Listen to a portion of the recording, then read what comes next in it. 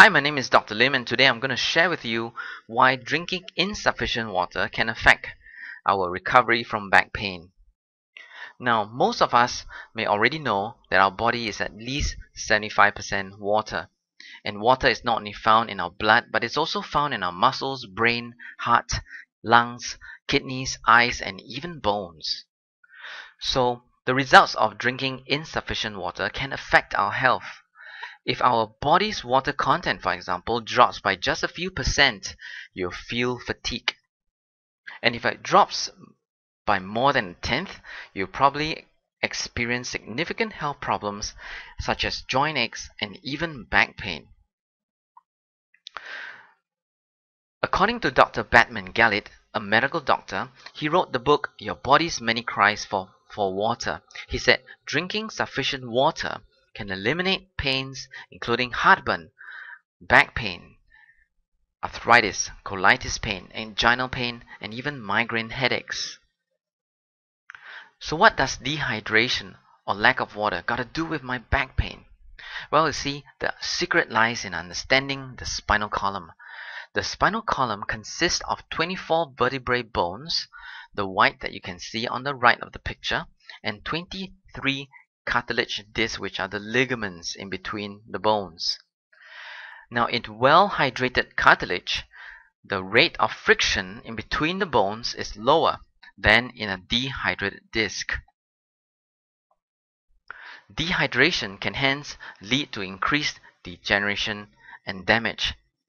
You see, a well hydrated cartilage is like a cartilage. Uh, it's like a spine that is well lubricated. These cartilage can function better and a well lubricated spine can move and results in less friction resulting in a more uh, smoother working spine.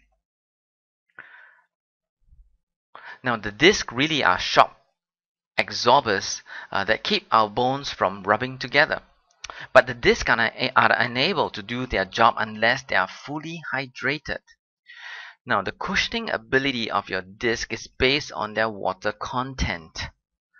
And when dehydrated, they thin out and they lead to degeneration and back pain.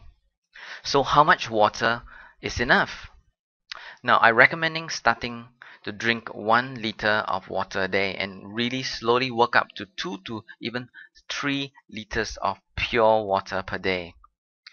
Now, in order to keep track of the amount of water, my recommendation is put one liter of water on your table in the office and attempt to finish it by the end of the day. And so that will help you keep track of how much water uh, you have drank for that day.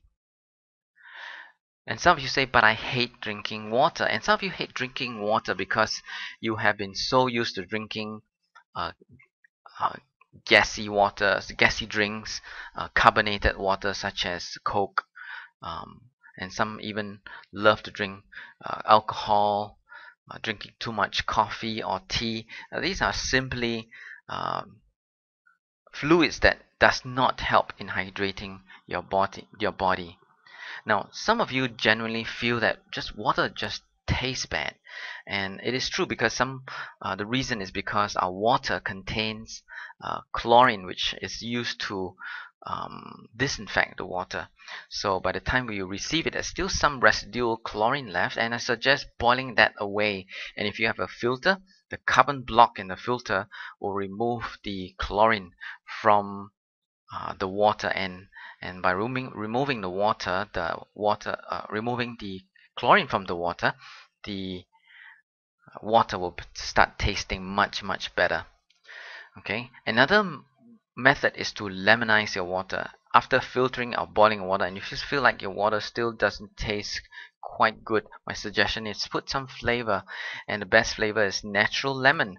Uh, put slices of lemon in your water. And um, not only will you get some vitamin C you're gonna get some nice flavored drinking water and so my suggestion is drink up for your health today um, some quick quiz review uh, just to run through what we've covered. Why drink more water? And my suggestion is we need sufficient water to function efficiently. Now, what is the consequence of dehydration? The consequence of dehydration can lead to diseases including arthritis and even spinal pain. So thanks for listening to our health tip today. I'm Dr. Timothy Lim, and you want to listen to some more health tips, just join our Facebook at facebook.com slash life systems chiropractic.